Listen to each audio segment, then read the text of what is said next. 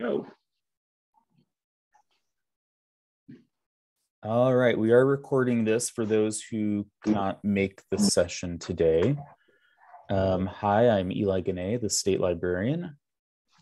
Today I'm joined by Dale Savage, the Development Bureau Chief.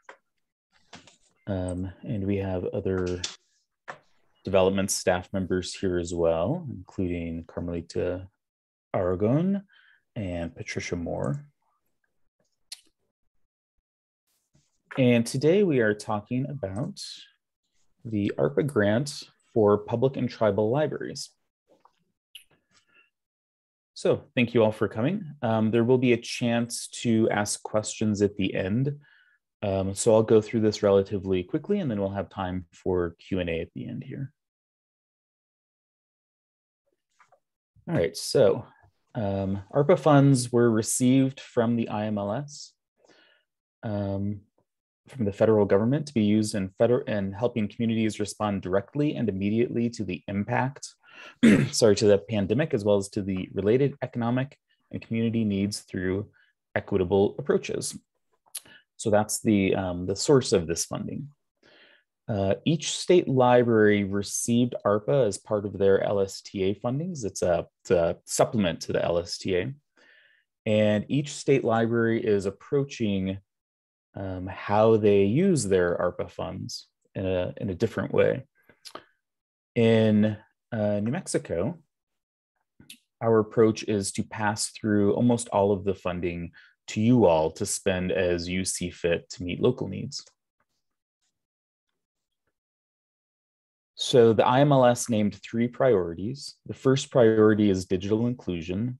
The second is emergency relief. Uh, so this is targeted at pandemic and health issues. And then the third, which is uh, you'll notice is very broad, is to support library services that meet the needs of communities. So if you were under the impression that ARPA funds could only be used for digital inclusion or health purposes, please note the third one, which is very broad. Um, here's the federal source.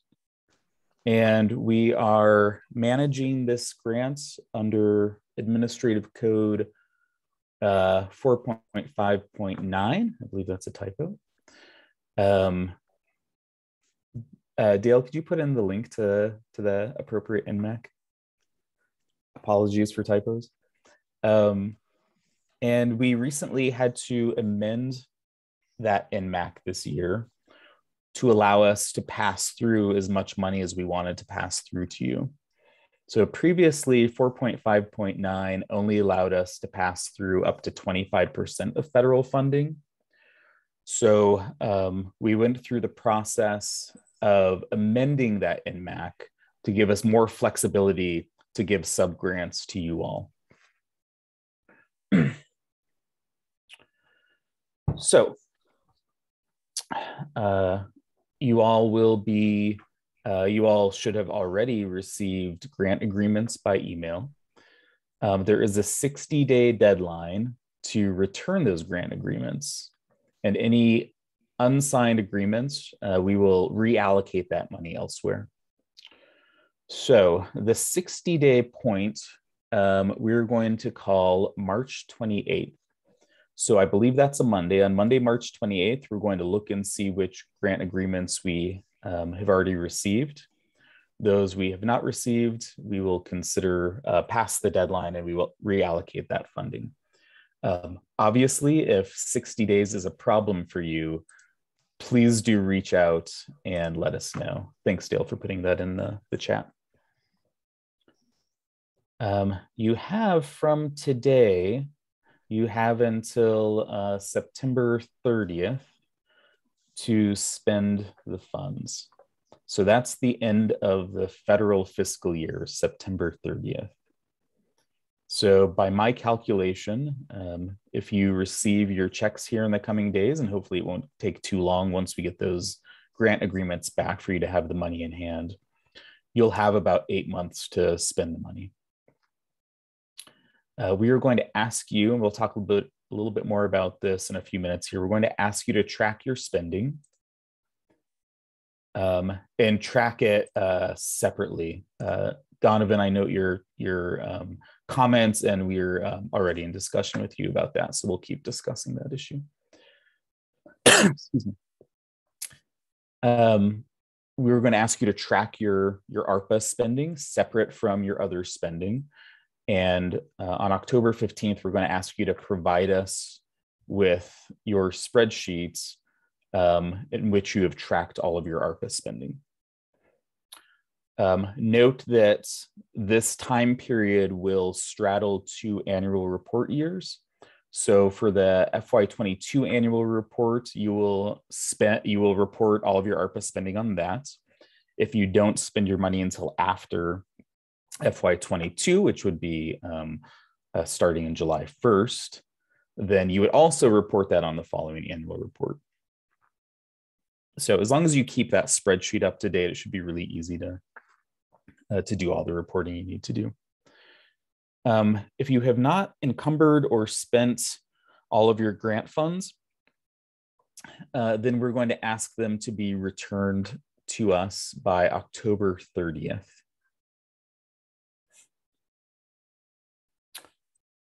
Next slide. So eligible expenditures will follow, um, essentially follow state grants and aid protocols. So what you're used to with state grants and aid, uh, you can expect that you'll get the same answers to your eligibility questions.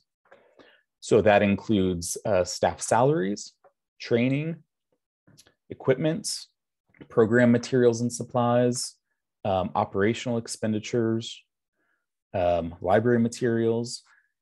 Uh, we are already fielding a lot of questions about what counts, so keep the questions coming. If we don't know the answer, then we can uh, try to seek out an answer for you. Excuse me. Um, ineligible expenditures. And I'll just note that um, because we don't normally pass through federal funding, um, the last couple of years have been a special case. Um, you all might not be aware that the way the expenditure eligibility works is that the federal government has um, certain eligible expend, uh, expenditures, and the state has its own set of eligible expenditures. Um, ours can be more res- more restrictive than the federal rules. So if you um, looked up the federal uh, eligibility expenditures um, guidelines, then you might see something that is more expansive than what we have here. They might, for instance, allow food. um, but when our rules are more restrictive, then it goes by our rules. We just can't be more expansive than the, we can't be more expansive than the, the federal government. So we do not allow uh, expenditures on food, giveaways, indirect administrative expenses, indirect costs, or capital improvements. So I know one of the questions we've been getting a lot is what counts as a capital improvements. Um, furniture, for example, is allowed as long as it's furniture for um, the public use.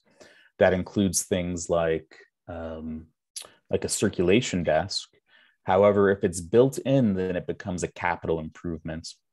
We've also seen questions about um, air filtration systems um, as long as those are not permanent structures, as long as they're not permanent improvements to the buildings, then um, that would fit the criteria for this grant.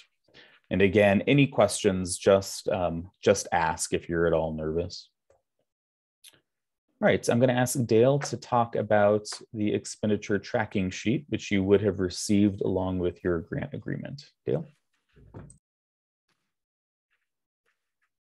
Okay, and Eli, while I'm doing that, there are a couple of uh, couple of questions in the chat. Uh, everyone should have gotten uh, an expenditure tracking sheet with your uh, grant agreement packet. And if you'll notice, there's a couple of features about them. One is there are locked fields on this uh, spreadsheet, and that's actually built to help you out. Uh, this is a slide, so it's not live. But if you go to play around with the sheet, you'll notice if you enter an amount uh, for like an expenditure in column G, it'll automatically deduct that amount from your uh, from the total of your grant so that anytime you can just take a look at the top of the sheet and you will have a running total of how much money you've got left in your grant. Uh, and it'll also show you your expenditures to date. Uh, another feature that you'll have in the uh, spreadsheet is expenditures will be listed by eligible categories, and that's a drop down.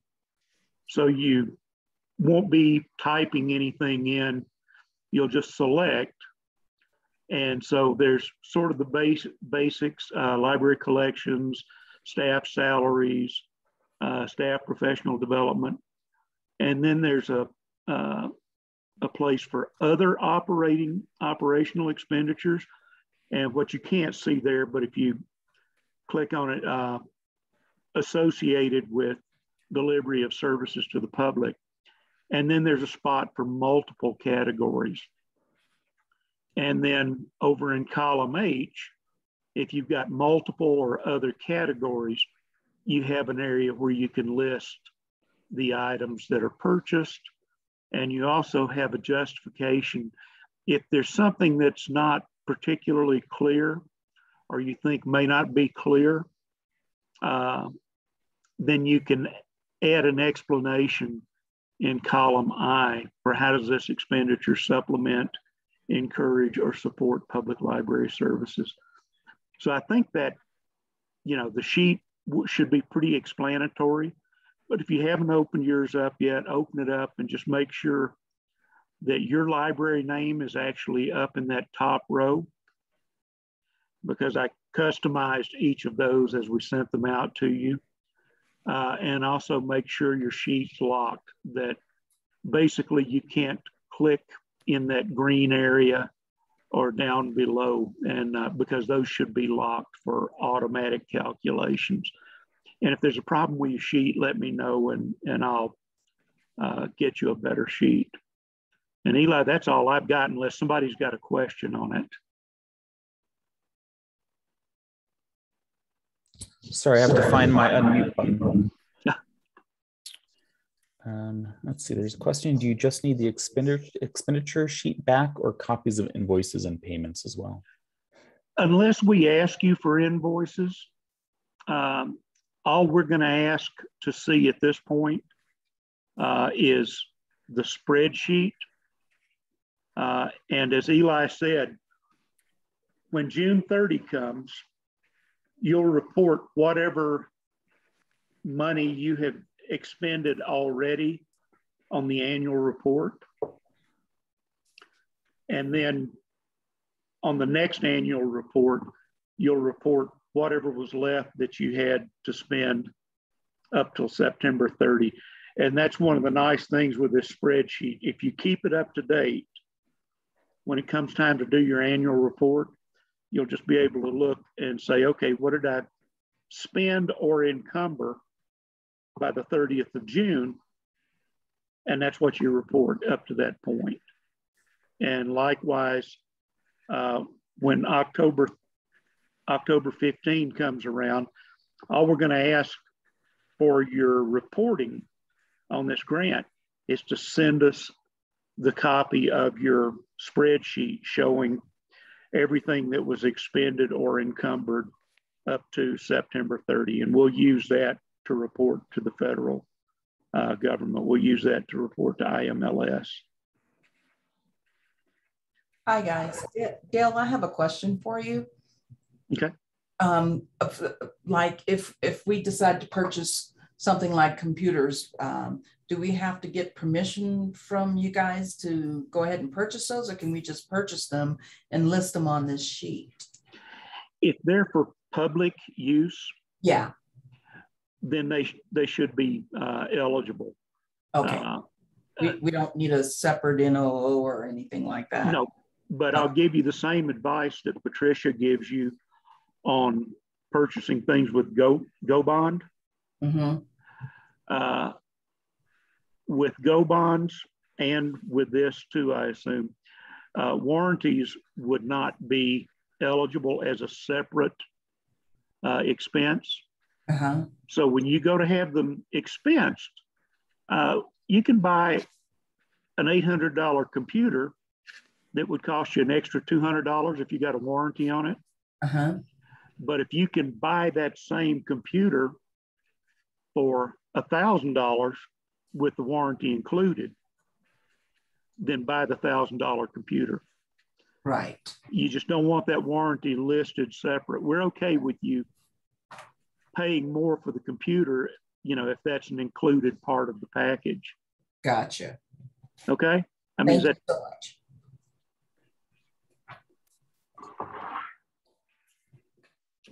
All right, some um, complex questions have come in here. Um, I've answered most in chat, let me know if they need more answering. Um, a computer chair that's for public use is fine. Um, salaries are cut are fine. Yes, that's a clear eligibility. Um, utility costs, I'll defer to maybe um, development staff. I think that that would fall under um, uh, the indirect and probably no. Are utilities utilities allowed? I'll wait for someone from development staff to answer that. Um, Dale, do you have a preference on which date goes on this spreadsheet? Uh, the date the check is cut or the date of the order? I'm going to suggest that you do the, um, the date that the funds are encumbered. Mhm. Yeah, and by encumbered, if you make a big book order and you get invoiced for the order, but it, it doesn't get to your library by June 30, if you've already encumbered that expense, then that's okay. You know, that, that kind of thing happens. And Patricia is really kind of our expert on that, that kind of question because she has that come up with go bonds a lot. But, uh, and Patricia, if you want to unmute and pop in on how that works, that's, that's fine. Well, since I was typing and I can't type and hear at the same time, uh, what was the question? Uh, okay, I see you answered one, no utility costs from go bonds. So I would assume that same rule holds for us. Uh, it was about uh, encumbering funds, like say if you've got a book order that you've already made, but it doesn't come in by June 30. Uh, can you comment on how that would work like with uh, the go bonds and encumbering the funds? Um, well, with Go Bonds, it's a multi-year PO, and it appears that ARPA uh, funds are multi-year. So I would assume that you could just uh, address those orders that don't come in until after June 30 on your second annual report. It's, is that what's being asked? That that's part of it, but the September 30 deadline too is an encumbrance deadline. So what counts in go bonds for having it encumbered? Um, in Go Bonds, it's April 1. Yep. Basically. So, but that I mean that's the that is the deadline um, to get everything in, and if you don't have everything in, then you do lose access to part of the allocation. But I don't know if that would apply to these types of funds. Mhm. What, let me, let me pose the question a little differently. What, Please. what counts as having the funds committed? Oh, okay. Well, in the grant, in the Go Bond grant agreement, it allows people to be reimbursed for something that they have um, purchased, but they haven't paid for yet. Okay, And so when they get the reimbursement, they have um, two weeks to actually pay the vendor. And it just depends on whenever they get that reimbursement check, because then they'll have the money to pay it. Uh, so it might be, it depends on how fast that gets processed. And so it could be uh, a month after you've received the uh, services or the books or whatever, or if the books haven't come in, again, I can reimburse with that caveat of what's in the grant agreement that you can, you have to pay the vendor within two weeks of receiving the reimbursement. Okay. And of course, this is going to be upfront Monday. So Right, uh, people will be able to pay as soon as they get the invoices. right. I'll just jump in on a couple of the staffing questions. Um, so travel expenses to conferences is fine and fees is fine. Um, the question about staff bonuses, I would really um, urge you to avoid that. Um, if you happen to give your staff permanent raises and then this uh, grant happened to cover the salary, that's fine. But just using the the grant to, to give bonuses would um, is not territory I would ever encourage you to go into. Um, uh, let's see, there was something else. So no, no, no to utility costs. I think that's pretty clear. Um, Now that's for go bonds. I, I don't mean to interrupt you, Eli, but that is just for go bonds. I don't know for state aid, for example. It does say with state aid operational costs.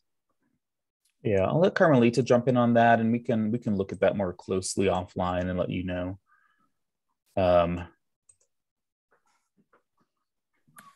So, um, yeah, electric bills and phone bills, those kinds of utility costs are um, allowable for state Hmm. aid. And I do believe it's the same thing for ARPA as far as I'm, the guide sheet, the guideline sheet um, essentially says the same thing um, for ARPA funds as it does for state aid.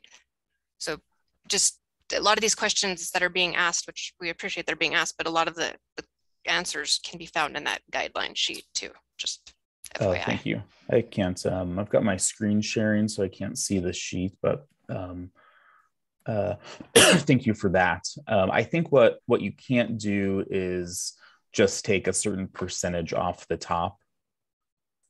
Um, you can't just say we're going to take 10% of this grant off the top to cover um, uh, to cover overhead. But if you had a, a specific utility bill, it sounds like that would be covered. Yeah, this As is long as it's I- just for the library. Right. Yeah, yeah. Library, I think that would fall under other operational expenses uh, associated with delivery of library services to the public. So yeah, your electric bill, your phone bill for the library, as Carmelita says. Uh, and Eli, here's a little bit of a different twist on uh, librarian salaries. Uh, let's see, Natalie from Moriarty says, what about paying part-time librarians sick pay for when they have to quarantine for five days due to COVID?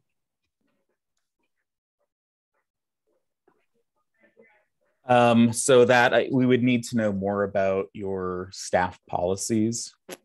Um, if you do not have a sick leave policy and you would just be giving them extra pay, then that's um, kind of goes back to that question of bonuses. Uh, you would want it to be um, as you know paying salaries as part of the your normal salary package.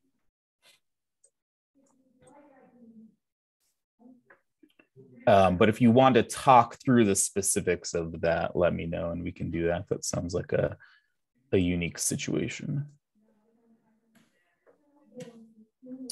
But giving um, giving an individual money that they would not have otherwise received um, is uh, does not look good and is probably not allowable by the federal rules.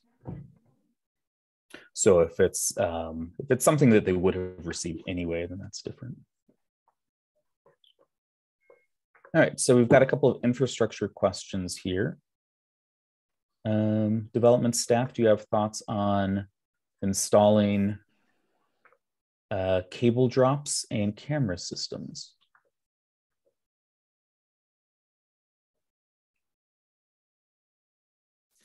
Camera systems uh, are eligible from Go Bonds.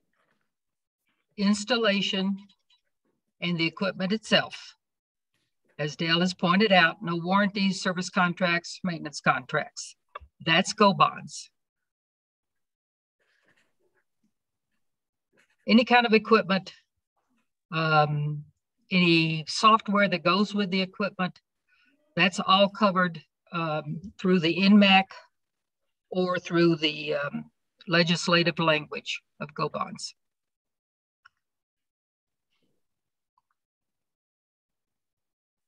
And those things would be allowable with state aid um, as well. And so since ARPA is essentially the same kind of guidelines for expenditure, that would be another operational expenditure associated with the delivery of library services. Um, but as Dale mentioned before too, just make sure that there's not separate line items for things that aren't allowed um, when paying. And Janet has a question about independent contractors. Contractors would be allowed, maybe if you gave us more information. I'm thinking of like a um, contracting with a summer reading, uh, a summer reading performer. Uh, that would be allowed.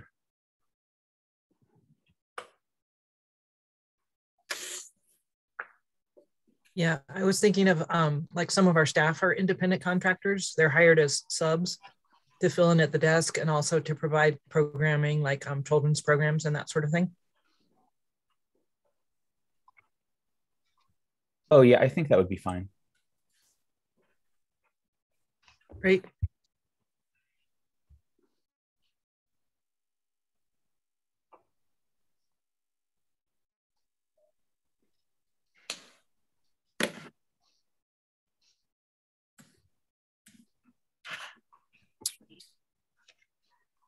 And could someone put in the chat the link to um, the website with all the um, uh, information about various grants that we provide?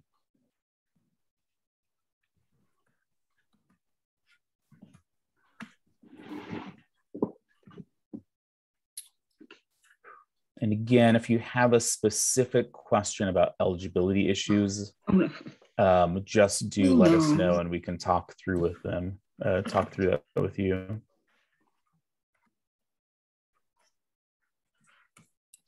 Question, I don't know how to get in.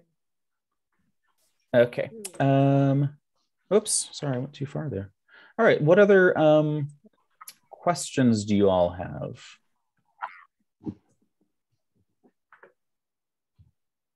Can you hear me? Uh, I, I can hear someone. Go ahead.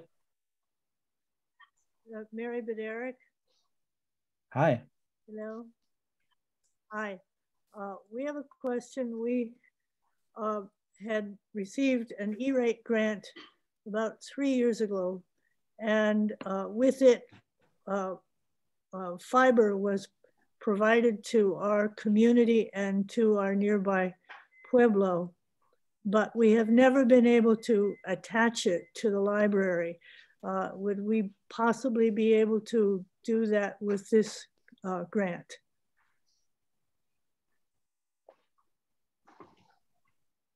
Did you hear that? Yeah, yeah, I heard it. Um, probably this is not the grant that you would um, that you would want to use. Um, it's possible that our we have a separate broadband fund though that might be suitable,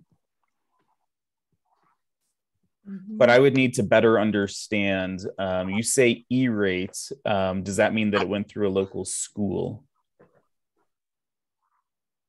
Well, in, in a way, yes, it did. Uh, we were in partnership with the local Curies School and uh, they were using our facilities at the time. Uh, so the, uh, the basic setup of the fiber came literally to the back door, but it was never connected to the library. It Mm. can be connected to the library, but we're not really sure how to accomplish that.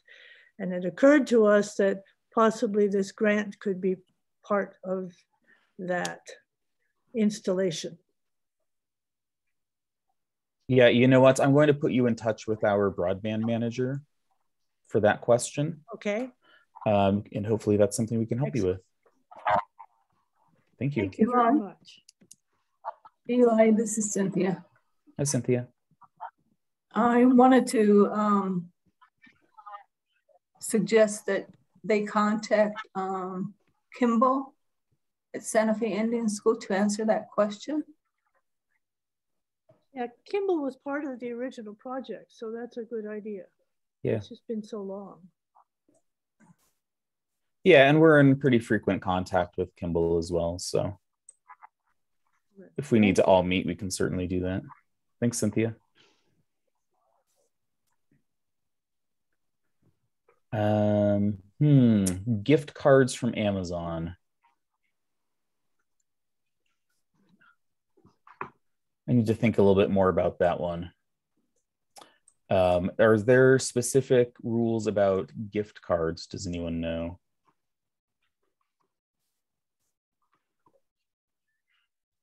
This is Not Cyn- allowable in go bonds. Eli, this is Cynthia again. Yeah. That will be Cynthia. considered as a giveaway. Would you think? Yeah. It, that's a slippery slope. I would stay away from that. Yeah. Yeah, I would think it would raise flags as well, should you ever be audited. And circling back to a question somebody was asking me about your invoices. That's part of why you should really keep your invoices and that spreadsheet uh, because it you could be audited in the future on that program, and that's what you would need to go back and uh, justify what you have a copy of your grant agreement, uh, the guidelines, the spreadsheet, and your invoices.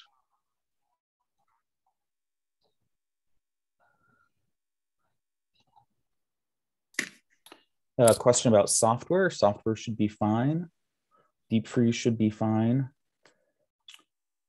Um, independent if you're um, buying a circulation desk from someone who's making it specifically for you, you just have to be careful. I think that it's not built in, that it's um, uh, freestanding, so it's not considered a capital improvement. Uh, but furniture for public uses is fine, yes. Uh, we've had a couple questions about flooring. I would assume that that's um, capital improvement, but someone can correct me.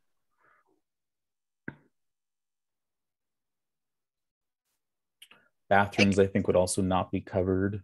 Yeah, I guess a key thing to remember when you're using state funds, state aid, go bonds, and uh, ARPA funds is how is it benefiting the patron? Is it necessary to deliver library services? Flooring, I mean, yeah, it's nice, but it's not something that you absolutely have to have new carpeting, new flooring to deliver services. So that's something to, to consider when you're trying to decide what's allowable and what's not. How does it impact the delivery of library services?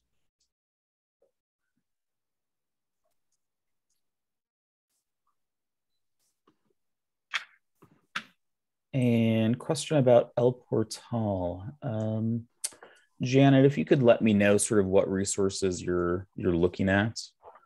Um, we're always kind of looking at um, what we can add. The problem and uh, the, the usual problem is that um, we don't want to add something this year that we don't have funding for next year.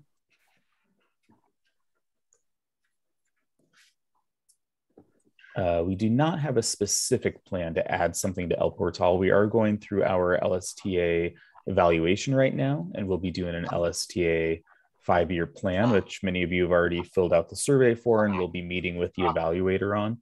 And that is one of the things we want to we want to look at is um, our El Portal resources. Um, who to contact? Um, you can really contact Carmelita, Dale, or myself, or all three of us.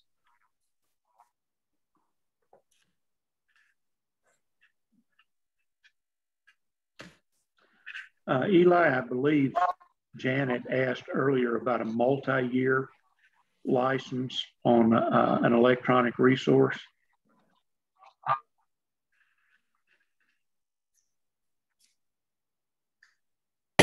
um, This is uh, the question of purchasing credits from a from a vendor. Uh, that's a pretty common common thing to do. The um, you know generally speaking, the grant would require that if you uh, purchase something that the goods be in uh, by the end of the calendar year. Eli, this is for you. I'm going out on a limb here, um, but I, I, just had a hit thought pop in my head. Mm-hmm. You can't tie this to any other grant, right? Because this is a one-time grant.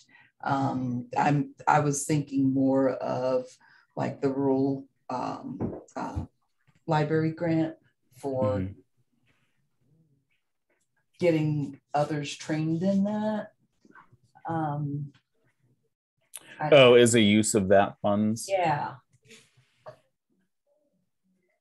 Um, it's true that it's possible we could use if we have extra funds. Um, one of the things we're going to need to do on our end, and one of the reasons we have a 60 day window for you to sign grant agreements, um, is that we're aware that there are going to be probably a couple of libraries. We already know of one that um, are going to forego this grant. And so we do need to make sure that we uh, reallocate this funding to another person, uh, to another purpose. So, um, yeah. you know, it's possible that we could create another grant program, but to be honest, we haven't had those discussions on our end. Um, we are using some ARPA funds to establish a, a niche academy account. If you guys know what that is. No, I don't. Uh, niche academy is a uh, professional development platform um, that libraries use. Um, so hopefully you'll be hearing more about that. Dale can tell you about the many months of procurement hassle that we've gone through to try to get that, but hopefully the lights at the end of the tunnel on that. Um, yeah, yeah, I can't really, I can't really give you any specific information at this point, other than the Niche Academy professional development software um, of how we would use extra funds. Eli, I have a question. This is Cynthia. Hi. So the money that is that the library, particular library, um, is not accepting it. I, I was under the impression that it will go equally to all libraries, those funds, and not go to state, state library. No, we're not going to. We're not going to redistribute it. The um, we just don't have the capacity to do that um, uh, with our current staffing levels. So we will just uh, use it for uh, a purpose that would benefit all of you.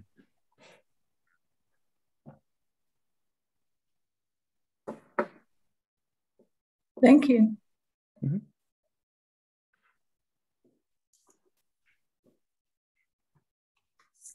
All right, any last questions? Yes, Eli, if um, this is Tar Parker from Eunice, as far as if we use it on our utilities and internet and phone, right now it would just cover April, May, and June for this physical year. Is that correct? Um, I'm sorry, I don't think I understood that question. Why would it only be April, May, and June? Well, because well we i'm trying to think how why i asked that question i had it written down but i'm trying to think why i asked it well we have to read this report what we did this fiscal year is what i was getting at but maybe i'm just getting that confused with the, uh, the state grant and aid mm. yeah so because this is a federal grant um, and because it took so long to get it to you we're trying to give you the maximum amount of time to okay use it. so we'd have eight months we can yeah so it, it, really goes okay. through really goes through september 30th right. I just wasn't so, sure if we could count yeah. part of it this time and part of it on the next one or how yeah but this so should just be kept separate from our other yeah track track okay. it on that tracking sheet and then okay. um and on that is when we click on this on our on this email that we got it'll give us this web um the spreadsheet or is this something we need to post yeah. to something for us to you should already have it in that email. If you don't, let us know. Okay, I've got it. I just wasn't sure that's where we input all that so we would have it. I made a copy of it, but a, we just need yeah, to input it on a, that. Okay. Right, right. Just save a copy of it locally. Okay. And then we'll ask you for it after September. okay. Good question.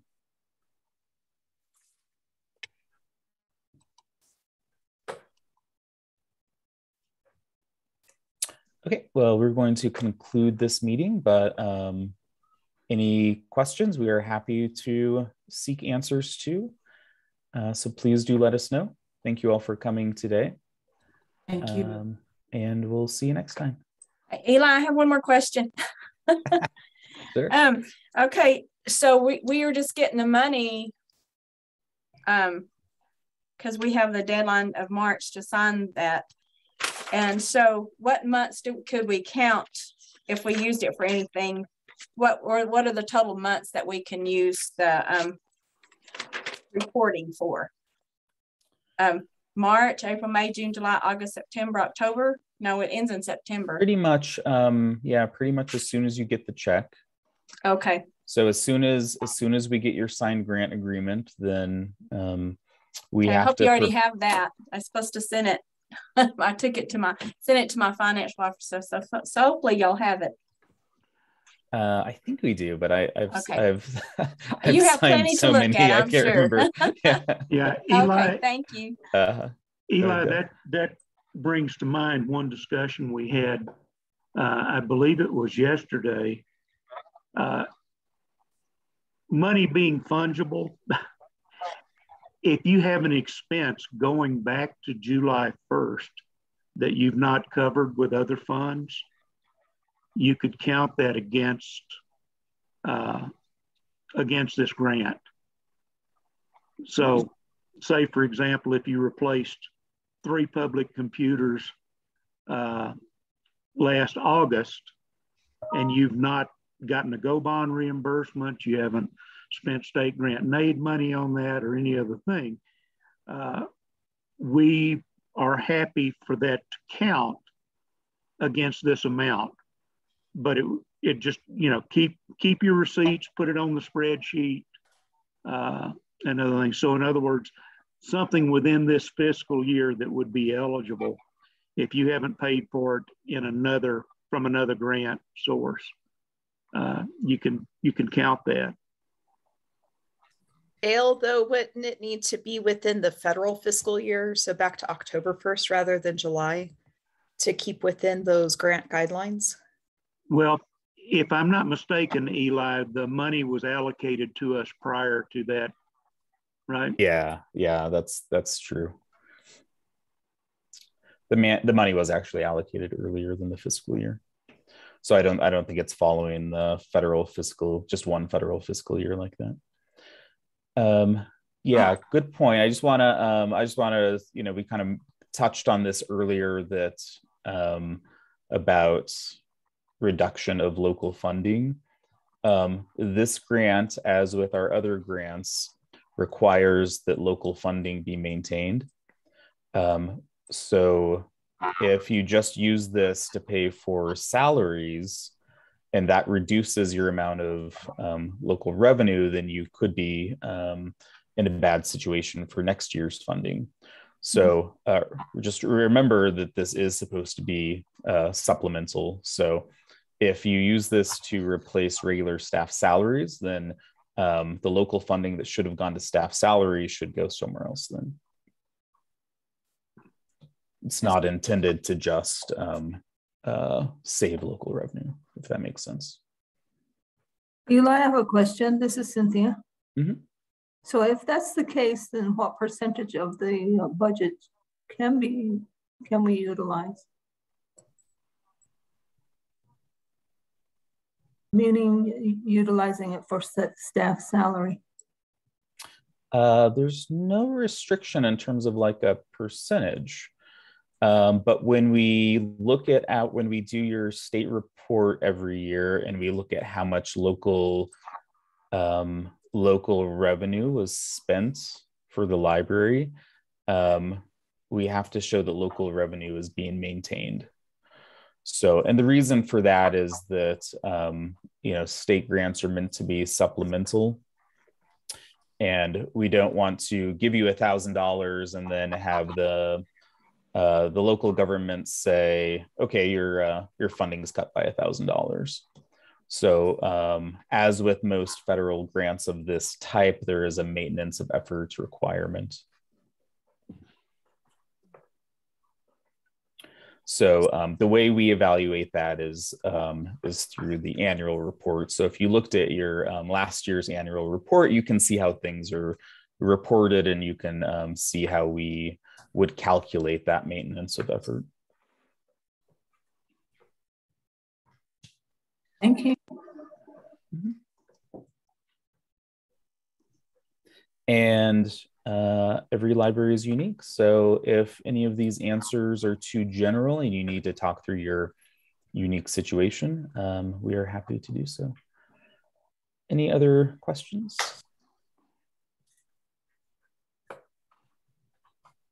All right. Um, reminder also spend your GO bond money and all your other money. There's a lot of money this year. Please spend it all. we don't want any of it back. We don't want to lose any GO bond money because it went unspent. Um, it's a good problem to have, but I know it's a lot of work to spend spend money, uh, especially when it's just one-time money. But uh, I thank you all and good luck and let us know how we can help. Thank you. Enjoy the rest of your afternoon.